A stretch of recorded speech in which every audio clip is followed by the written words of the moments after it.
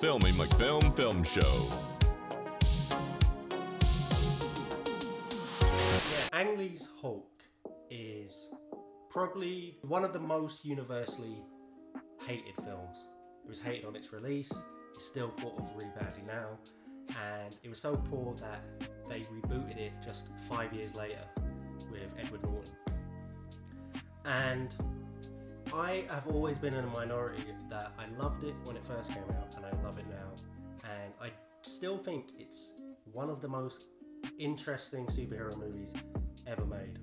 And I put it right up there with Batman Begins and The Dark Knight and all of the top tier, not just some of the best superhero movies, but some of the, the type of superhero movies where you can take them fairly seriously, or at least the director takes it seriously. And so we got Eric Bana, the beautiful, gorgeous Jennifer Connelly, and a great rest of the cast that uh, rounds it all out. Uh, Nick uh, Nick Nolte playing his, Nick his Nolte. father. We start the movie. The first half an hour, admittedly, is a bit of a mess because they're trying to fit in a lot of story and a lot of background and a lot of context. And you can tell it's the kind of thing where you can tell they filmed an awful lot of material and then cut it, found it in the editing room where cutting up bits and pieces. And part of what makes the storyline, the storytelling, especially in this early segment of the film, a mess, is Ang Lee had he wanted to recreate the kind of comic book slides in the visual storytelling of the movie. And this is another thing that generally people hate.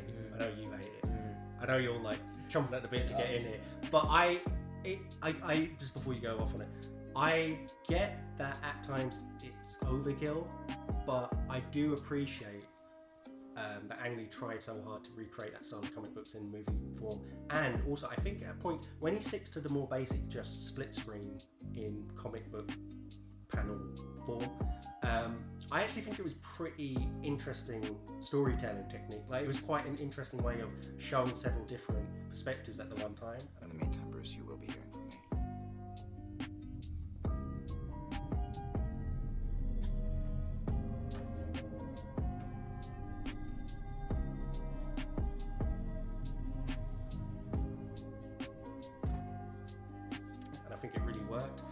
times it was too gimmicky or just it just looked unappealing on on the screen like at that point. So I admit he went overkill sometimes. It was really pissing me off. If I'm honest with you, like you don't have to do every fucking other transition as a comic book transition. It's like, yeah, we understand that you're you're paying homage to it, but like, calm down a bit. And like, do you know what I mean? Like, Yeah, the main problems I had was when it became like these blocks that would twist and Yeah. shake, and that's when I was like, that's not even comic booky. That's just nothing. But I, I go with it. I have a real nostalgia for this movie. I loved it when I saw it in the cinema when it first came out, and I love it now. I love it still.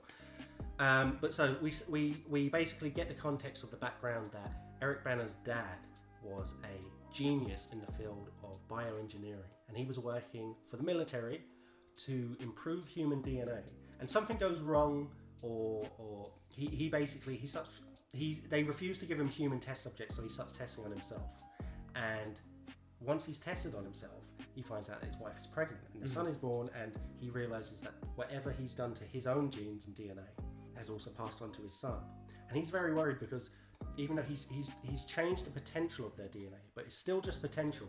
It hasn't tapped into whatever improvements in human evolution um, are possible. Something, some ingredient is missing. So, so the recipe's there, the setting is there for them to tap into some unknown human potential in both the father and son, but there's some sort of ingredient that's missing that will come later. So anyway, um, he starts to lose his shit when Ross, the general who's overseeing his work, realizes that he's been testing on humans. So he shuts down his soul experiments and he shuts down his access to the lab, and he loses it. He rigs the entire lab to explode. Personnel, fail-safe has been initiated. Gamma decontamination will occur in 30 minutes. Evacuate immediately. I repeat, evacuate immediately. and he goes home and he wants to kill his son because he knows his son has the same thing that's in him and he's actually worried about it. He, he's starting to regret what he's done. So we don't see what happens then because young Bruce Banner has repressed his memories. Mm.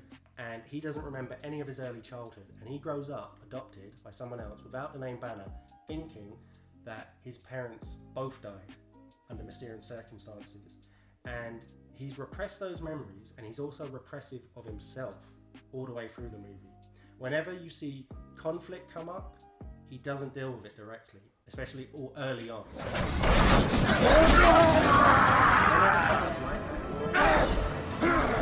That means the, the person it's like in, in anger management that movie with jack nicholson and adam sandler as dumb a movie as that is there's one great line in it where he's talking about the person with a temper that you need to worry about isn't the person who's shouting at the cashier because they um, they overcharged him by two pound it's the cashier who's just standing there and taking it and taking it and can't can't ex- assert themselves and express themselves. Because those are the people that have rage building up Yeah. inside them. And that's what this movie's all about.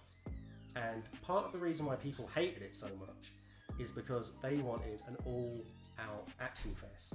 And that's not what this movie is. This movie is ang lee does a greek tragedy with hulk as the main protagonist and exploring that it's a it's a really introspective character study that happens to involve occasionally a giant green guy destroying army units and using tanks as a battering ram.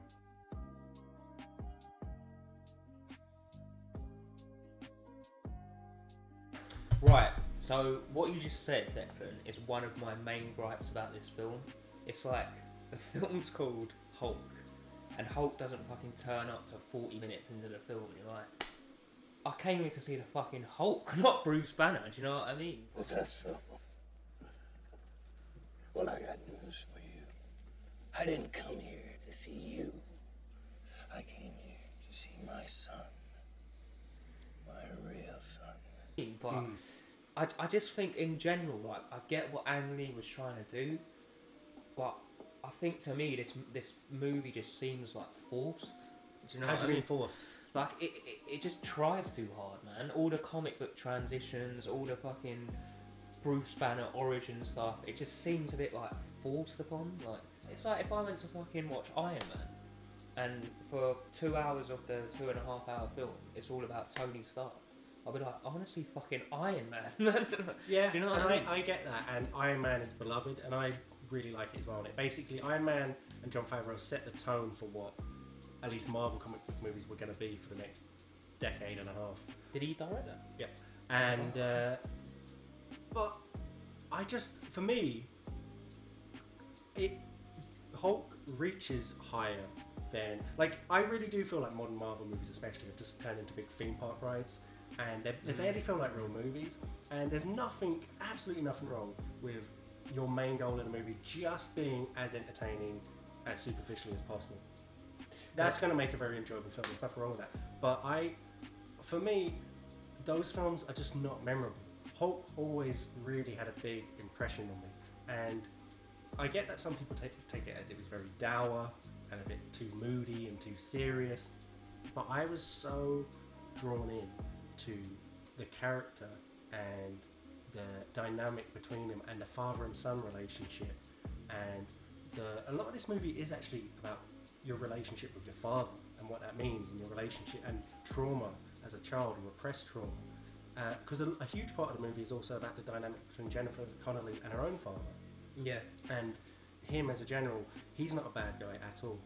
He's just trying, he makes decisions based on how he sees fit.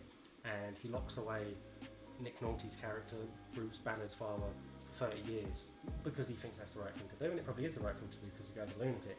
And when he's dealing with um, his daughter in the movie, they have an estranged relationship at the start of the film because he clearly has at times overreached into what she sees as controlling her life. You said I could trust you. I'm your father.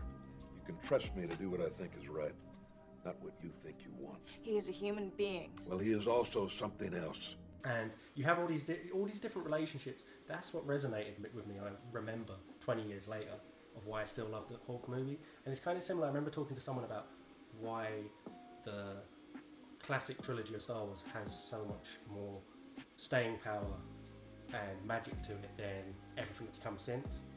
And it was because, you know, I remember when the we were young when the prequel trilogy came out, and all the chat was about the, this is the most CGI shots ever in one movie, and mm. this special effect and that, and this, that, and the other. And I remember a person just saying like, I don't, I don't remember jack about special effects from the first trilogies. I just remember how great the characters were, and that's what I felt about Hulk. Like, people say all they want is smashing, and maybe they do because they kind of got that in the Edward Norton Hulk, and people seem to generally think that's the better movie. But for me, I find it so much more interesting where they went with the character and how they how they they spend like it- it's funny because all the things you don't like about it are kind of nearly the things I like about it. I like the fact that we spend 40 minutes not setting up just why Hulk comes to be because that get, that essentially doesn't get that much screen time. Which generally we know as well from, from the comic books. Uh, Eric Bana, uh, Bruce Banner, Bruce Banner gets um, irradiated by gamma radiation, turns him into the Hulk. So we don't need 40 minutes to set that up, but we need 40 minutes to lay out his character, his relationship to his father, that, and the memories he's repressed, and how he interacts, and how unassertive he is, and how he, he suppresses all this rage deep inside of him. And it's the character we, we set up with all that. There's also another reason why I hate this. I, I totally get all your points, but I had an absolute shocker with this because yesterday I watched it and I couldn't fucking find it anywhere. I know that you stream it online, but I don't have like a bit, uh, like a, like I can't stream it through my TV. It is interesting. Disney Plus seems to just pretend it doesn't exist. So So I'm sure they have the basically- rights. I went on Amazon and I rented it to like two quid, and I was like, oh, this is fucking so awful. And then I finished it and I realised that it was on Now TV and I could have got it for free. And I was fucking fuming. I was like, no. It's not Ang Lee's I fault. I know, I know. But um, going back to your original points, um, but I guess I guess what Ang Lee was trying to do was give. Not we all know about the Hulk, but do we know about Bruce Banner? So I guess he was trying to give him, as in Bruce Banner, the origin story, which is what he was trying to do, I guess. I mean, the identity. I don't mean like the secret identity. I mean like the character identity of any superhero character is so interwoven into their Mm. origin story. And ha- ha- one of the things about superhero characters that make them potentially such interesting characters is that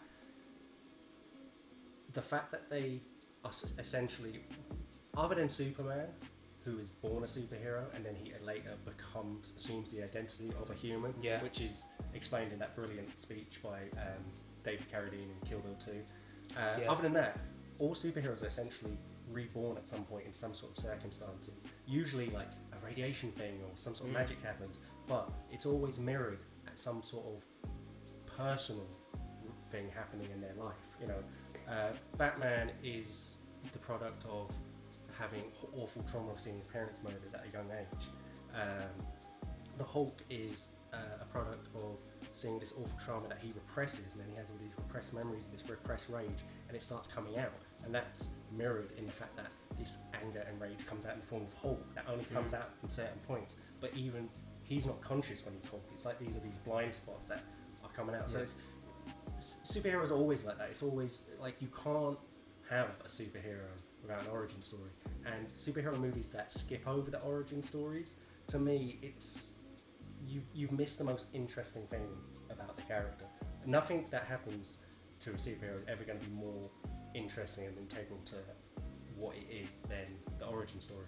Can I ask, who is your favourite superhero? Um, I I'm thinking it could be the Hulk.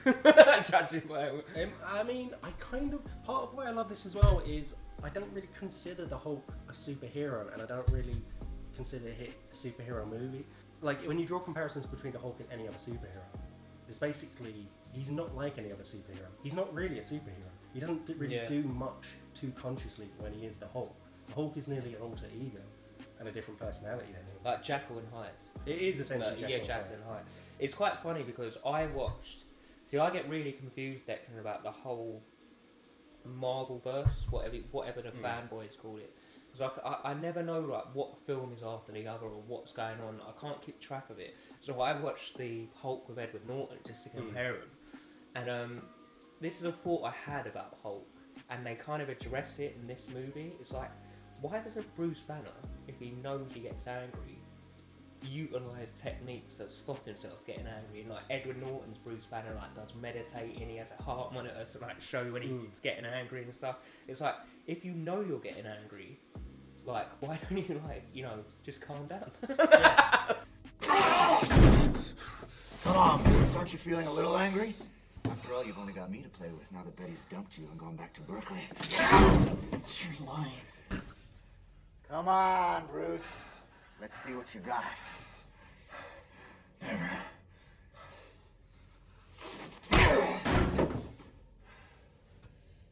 You know, consciously you may control it. But subconsciously, I bet that's another story. Well, that's true, but also you got to remember this version of Hulk is if the actual movie spans over probably I think it's about a week, other than the flash forward at the end, yeah, yeah, yeah. maybe less than a week. Yeah. So, I mean, he is he only transforms into the Hulk three times. Yeah, you're right. in this movie. You're right. Yeah. Um, one of the things I love as well is the fact that he he gets so big in this movie as the Hulk. Like he becomes huge, Like yeah. one one thing you talk about like it's not enough action and stuff, and fair enough. But one thing they absolutely pushed to the max was his strength levels. Like Yeah. the Hulk. That's one of the things I loved as well. Is that this movie it felt like like we were saying a Greek tragedy. It felt like you were dealing with gods rather than superheroes and supervillains. That was the scale it kind of set. And when you see Hulk um, jumping across entire deserts No, that in a single leap, that that is sick. That's one of the things I like about Hulk. He can't fly or anything. His way of getting around is just like leaping. and the the way Ang Lee directs a lot of the action sequences, some are more conventional. Some are you know like when he's when he's attacking the tanks and he picks up one tank and swings it into another one and and all that. Um, but some of them they're just so beautifully shot. Like when he at one point he a cluster bomb lands and he jumps away from it, and there's a high up bird's eye view of him flying through the air, jumping away from as all these different explosions litter the ground beneath him. And it's just it's nearly like ballet the way he's directing these moments. And I get the way if you're just wanting all that action. Um, but I, th- I think one of the things I really appreciate about this movie as well, it's one of those it will never happen again type movies because it's so rare to get a giant super big budget superhero movie about a giant green guy smashing things that is essentially like nearly like an art house movie. the golden question: Who would win in a fight, Hulk or King Kong? Which King Kong are we talking about? Peter Jackson's King Kong, who Okay, can take down T Rexes. By Let's, the way, let's run through all the um, King Kongs actually. So we'll start with Peter Jackson's King Kong. Okay, so I think the Hulk would just immediately uh, destroy. destroy. Yeah, no, no. he would he would punch King Kong once, and immediately its giant rib cages would be rupturing its internal organs. 1970s King Kong, who was Okay. who was about, if I remember correctly, I think he was like a third of a, a third as tall as the World Trade Center. Okay. Um, I think would put up a much better fight, but I, I think Hulk would probably still kill him.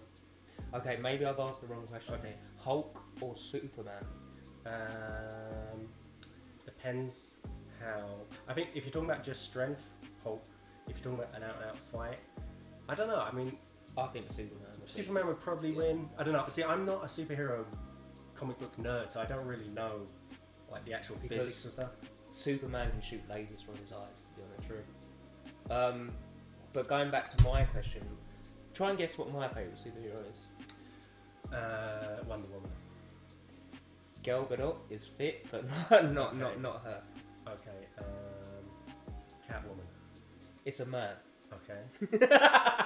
uh, Robin. Nope. Well, I am the I am the shit sidekick half of the time. Who?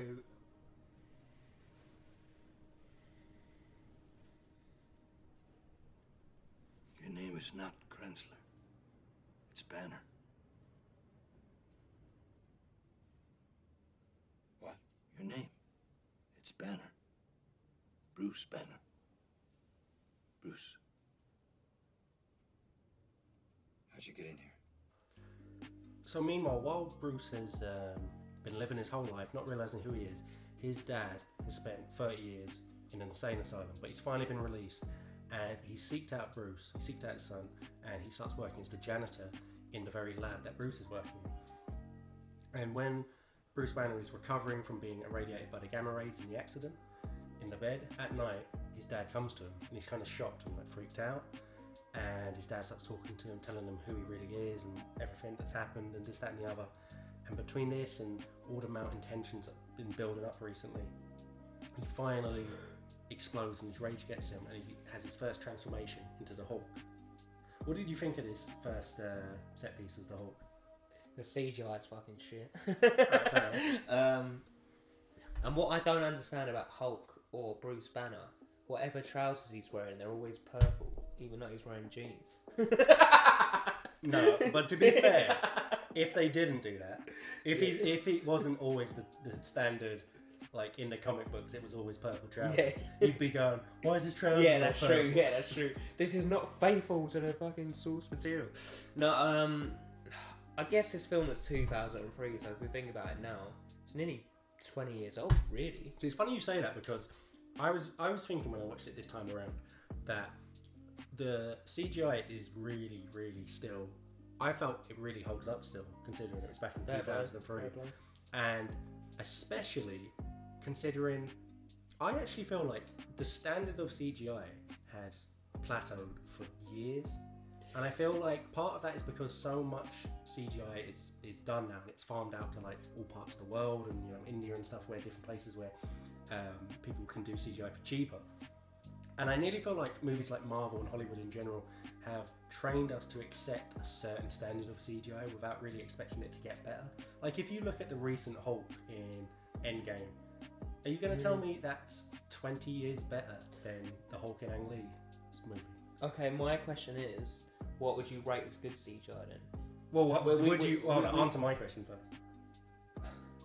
I think it is better than that one. No, no, but is it? It might. It's be, not- it's I'm, not I'm sure if you put them better. next to each other, there's slight, slight differences where you'd say that's Okay, better. yeah, yeah, yeah. Is it 20 years better? No, I don't. It's not. Yeah, no, I don't. Yeah, I agree with that.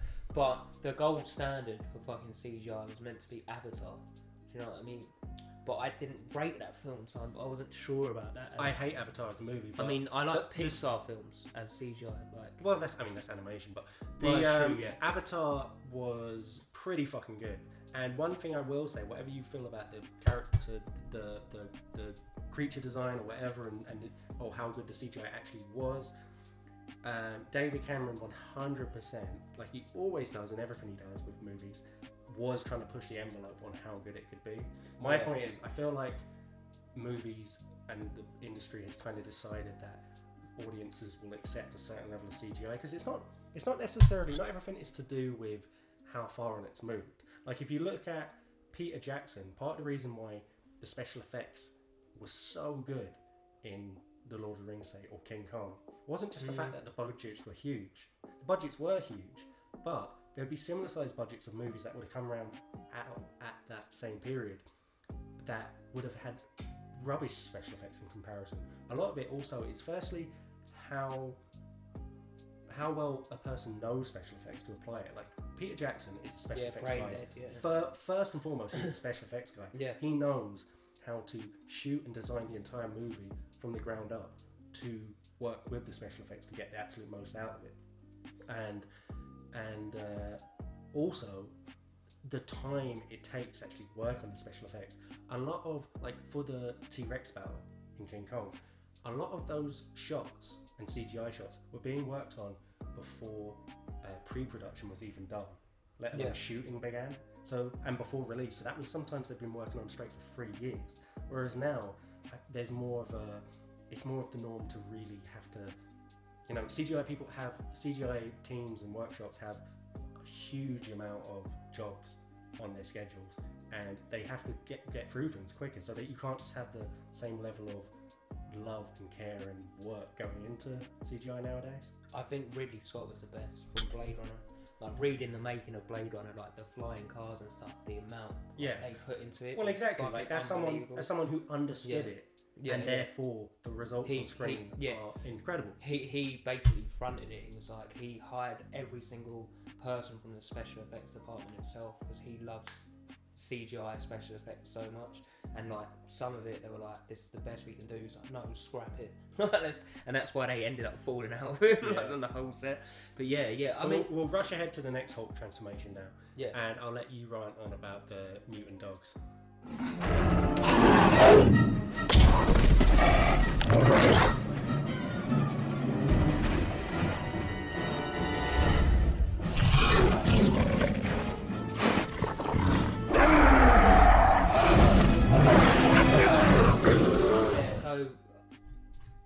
well, basically, Hulk's dad comes in to the to the hospital bed or wherever he's in. He's got a plethora of dogs next to him, and it's like, why are these dogs here? It's like, "What- what's going on? And then we find out what's going on. Basically, Hulk he transforms and like runs away. Does he run away to Jennifer Connelly's house? Basically, He runs away because he gets a call from his father that he sent these mutant dogs Yeah. after Jennifer Connelly. Yeah. So he goes there, and then all of a sudden, a giant poodle fucking starts attacking her, basically, and then Hulk starts fighting all of them. It's a good. Well, what did you what do you hate about it? You said that in the I just think it, I just think it was. I just think it was stupid. Like, what's the point of this? Like, honestly, like, why are you gonna, for some reason, make dogs into like Hulks? I don't, I don't I mean, why not? going- First of all, that's fucking cool. That's good Secondly, point, I yeah. always loved this. Like, I, I always loved it partly because it was such an unexpected thing that I just didn't expect to see in the movie of Hulk fighting three giant mutant dogs. Um, Mm, and I just yeah. always enjoyed the sequence. I enjoyed the sequence how it built up to it, where he he transformed when Glenn, the annoying, evil corporate guy, comes around Yeah. and starts bullying um, Bruce Banner again. And like we've seen before, where usually where he'd come in, Bruce would be very passive because he's a passive person because everything about his character up to this point has been about repressing his emotions and repressing his memories. But now that the Hulk is on the scene, that doesn't happen anymore. So he lets his anger out, and the Hulk emerges, and he jumps off. And this is the biggest Hulk we've seen so far as well. He's like, he's like hmm. twice the size of the first Hulk we see, and he goes off, and Jennifer Connelly actually just discovers him in the woods because he's waiting nearby, and that's when the dogs show up. But I love the whole sequence as well because it plays out is I don't know if it's because it's so well directed by Ang Lee or I just have a bias for this movie or what I actually think it's most likely is that Jennifer Connelly such a good actress that she sells that moment for me as, as absurd as it is that a woman would see a giant mutated version of her former lover and then he beats up three mutant dogs and she would not be running away scared but actually be drawn to him and want to look after him Yeah. um, that is just so absurd, but the whole sequence sells that for me, and I believe it. And I think it's mainly down pinned on how good of an actress Jennifer Connelly is. Sounds like a great Friday night. Beat up some mutant dogs. Jennifer Connelly's there. but yeah, no, the the sequence was actually, to be fair, if, if we look at it, the sequence was quite cool. But I just thought, why the mutant dogs, man? No, no, look, I, I will never argue with you just with us when you just inherently don't like something in a movie. Yeah, Like, yeah. you can't really argue with that. But so this builds up to the next sequence because Jennifer Connelly calls her dad because she's like, I don't know what to do. My boyfriend's turned into a giant green monster, and so they take him away to some secret facility. And at this point, Ross, Jennifer Connelly's dad, the general, has been basically superseded by Glenn, the little prick corporate guy. Mm. And he's now in charge of the operation, and he's just obsessed with. He wants to get the DNA or the blood or whatever from the Hulk because he wants to take it and turn it into a weapon and sell Yeah. it to the army and whatever. So it builds up to my favourite sort of period of the whole movie. From this point onwards, I just love this part of the movie where where everything from him uh, having the nightmare during um, when he's in that chamber yeah, as uh, Glenn is trying to induce him to turn into the Hulk, up until him escaping the facility and going on that voyage through the desert towards San Francisco and fighting all the army helicopters and the jets and everything. Everything is just amazing. And even up until the sequence when he's in San Francisco and one of the jets takes him up all the way to the top of the atmosphere where he passes out yeah, yeah. takes him all the way up to, into space. And it's moments like that where it's just so interesting. And again, the fact that as he's falling back to Earth unconscious, we again go into a, a dream sequence where you see Eric Bana wrestling with this alter ego he has, wrestling with his own suppressed emotions. and that just kind of sums up the way Ang Lee approached the movie, where it is about the character. I get most people hate that, but I love it. For me, it just works, and it's so interesting, and I find it. If this movie had just been a, a smash and blow it up, smash through the city, fight a big bad guy, half every scene in the movie, kind of film, it just wouldn't be memorable to me. It wouldn't have the staying power that it did have for me. But it's because of moments like that and the way everything, the action is always secondary to the character introspection and the, the story, and that's why everyone hates it. But that's why I love this movie. Yeah, that that again, that was a pretty cool sequence. I can't deny that. but again, it just seems to try too hard to me. I was like, oh. So when you say try too hard, what do you mean? No, I I think I think this this film sets up a lot of set pieces that are good, but the the, the, the stuff superseding it is not worthy of the set pieces. So like, I, I, yeah. I was like, oh, so there's a fight now. do, you, do you know what I mean? Like, So do you feel like by the time you got to the action pieces anyway, yeah, I was just I I, I, I just checked out. You Like, checked so, Yeah, yeah. fair enough. Yeah. So anyway,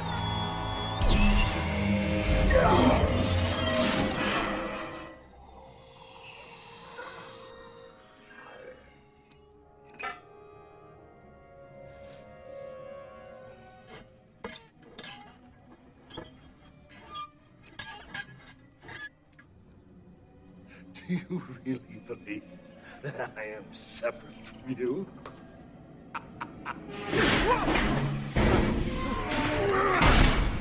So anyway, so we get to the final sequence. So Nick Nolte's character has handed himself in, and before that, he's he's realised, like I said at the beginning, this missing ingredient to tap into his work 30 years before of, of enhancing and tapping into the potential of human DNA.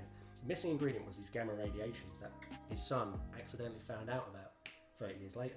So he goes and puts himself under the gamma rays, and resulting from that, he doesn't have a Hulk-like quality.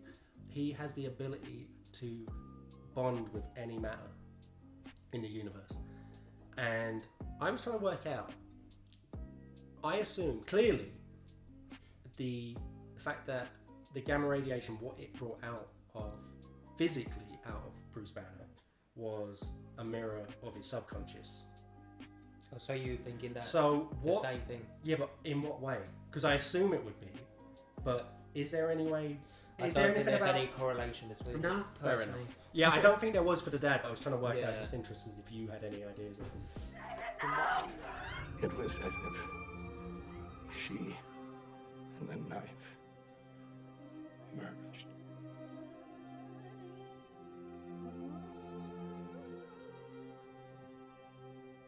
So he hands himself in, and he says all he wants is to have one last, see his son one last time, and then he'll hand himself in and whatever. So we are set up for the final big sequence, and in a secluded area, Bruce Banner and his dad are hooked up to electrodes so that they can be fried at any second if anyone tries anything, and they're having their last showdown with each other. It's it, it kind of this is a bit where I feel like Nick Nolte kind of takes over the movie for me.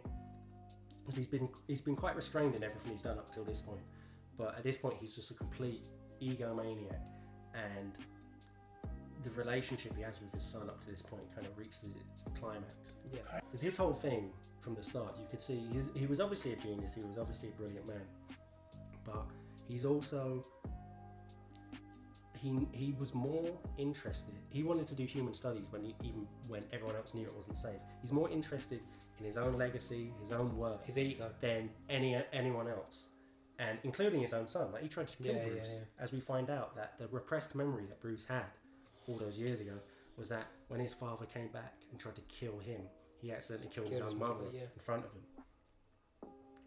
And he, the only reasons he's come is because he wants Bruce to turn in to the Incredible Hulk and then to sap all his energy, take it over his, Yeah. his matter. So we get to the last big fight sequence.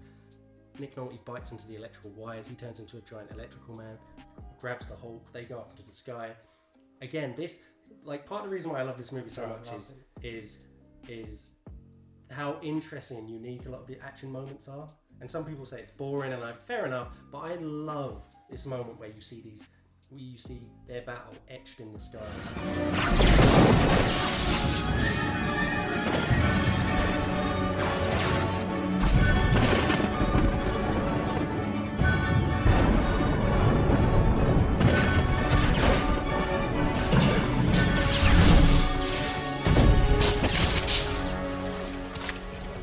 That was cool. That was But uh, but overall, Declan, the worst end fight se- sequence I've seen in a long while. Really? He turns into a rock. Hulk grabs him, pushes him into the water.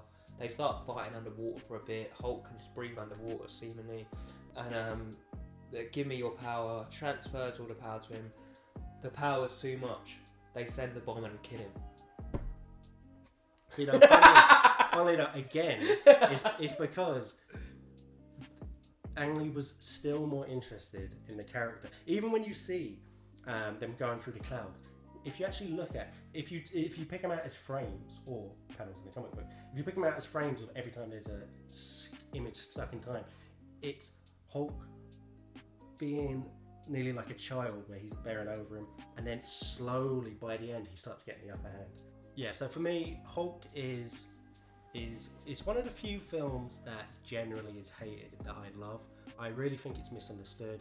I would love it if I remember thinking at the time when I first really liked it and everyone seemed to hate it.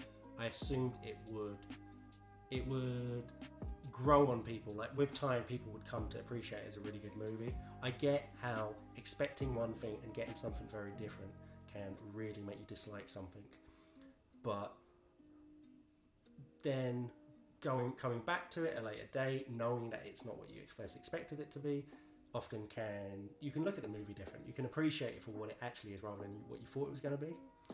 Uh, It doesn't seem to be the case for Hulk. People seem to just straight up hate it, like my co-host. Yeah, here. yeah. Do you want to give your final Well, thoughts? oh, sorry, yeah. Um, I thought it's a re- number one. It's a really long film. It's like nearly three hours, two hours eighteen minutes. The Hulk doesn't turn up to forty minutes into it. I get what Ang Lee was trying to do, but it, it's just too much of a mishmash and it's too messy for me. Like, so I, I'm sorry, Declan, I don't rate this film. Fair enough. Basically, if you take all the reasons Phil said he doesn't like it and flip it, that's more or less all the reasons I do like it. And admittedly, this is a very flawed film. At points, the the visual storytelling and the way he tries to incorporate uh, comic book panels and, and those sort of it becomes gimmicky and kind of annoying at times. Uh, some of the acting at times is quite ropey. If, if you worry too much about the logic of the plot, sometimes there's quite glaring plot holes. But if you don't concentrate on any of that and you focus, for me, on what the movie is worried about, it's not worried about those things. It's worried about the character. It's worried about exploring that and exploring the relationships between all the characters. And at most, the character of Bruce Banner and his alter ego, the Hulk. And if you enjoy that sort of thing, if you enjoy films that focus on those sort of things secondary to the action, and a lot of time the action is only as a, as a way of exploring those themes and those ideas and those sort of things, then you'll get a lot out of this movie. And even just as as an oddity, you can get a lot out of this movie. Like it's a very unique movie. It's very rare that a film with this budget about a superhero. I mean, nowadays it's more common, but back then especially, it was very unusual for a director to get to take this approach with this sort of movie, or for any blockbuster. It's very rare you get a a intelligent blockbuster that's more interested in really trying to create a great film and a great character study and exploring themes of, this, of a thing rather than just purely trying to get bums on seats and sell tickets. So I really hope people give Hulk a second chance. I hope it eventually gets seen as what I think is one of the most interesting superhero movies ever made and a film that really stayed with me from ever since I was a child when I watched it when I was about 11 years old. Everything from the amazing performances by Eric Bana and Jennifer Connelly, especially, to the incredible visuals of Hulk jumping across entire deserts with a single bound, um, and to the amazing musical score, which I think even people that hate the movie can admit that the main theme is absolutely beautiful. So it's an easy recommendation for Hulk, and that goes of course for Phil as well. no. okay, so it's half a recommendation. Yeah, half, half, half, half. Give it, a, give it a watch if you want to.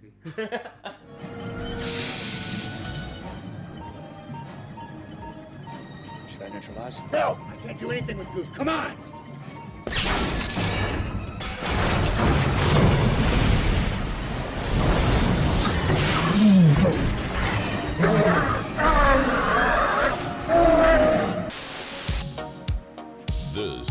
Filmy McFilm Film Show.